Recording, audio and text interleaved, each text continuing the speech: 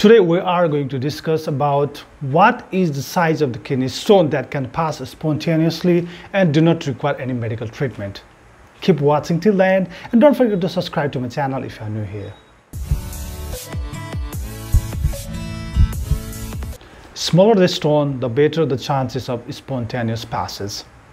So I have brought out different sources mentioning the different sizes and we'll finally reach on the conclusion what is the size that can pass spontaneously. According to the Cleveland Clinic, if the kidney stone is less than or equal to 4 millimeter, it will pass by 1 to 2 weeks. If it is more than 4 millimeter, it's going to take 3 to 4 weeks according to the Cleveland Clinic. But however, this is not valid because any stones more than 4 millimeter means 1 centimeter, 2 centimeter, 3 centimeter. So it's not going to be valid for the, the larger stones.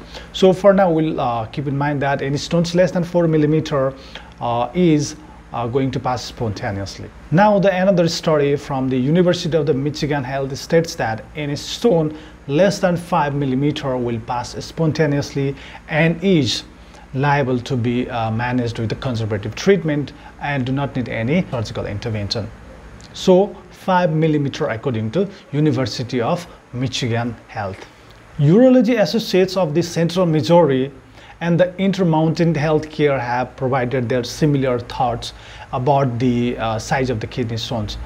So they mentioned that if the size of the kidney stone is less than or equal to 4 millimeter, there is 80% chances of spontaneous passage and it will take around 30 days. Whereas if the size of the kidney stone is 4 to 6 millimeter, the spontaneous passage chances decreases to 60% and the passage will occur by 45 days whereas if the size of the stone is more than 6 millimeter the chances of spontaneous passage decreases to 20% and uh, the duration may be 12 months. Finally, the meta-analysis. The meta-analysis carried by the American Urological Association and the European Association of the Urology mentions that if the kidney stone is less than 5 millimeter in diameter or equal to 5 millimeter, the chances of spontaneous passage is 68%.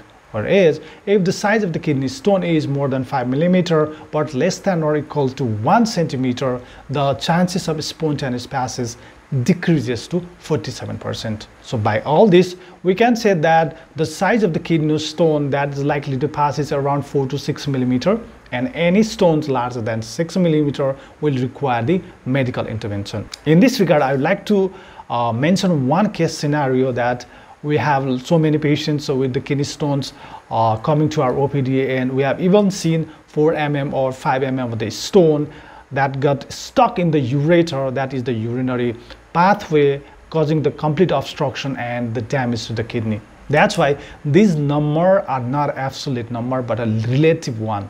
And just to keep in mind that what can be done and what can't be done. Thank you.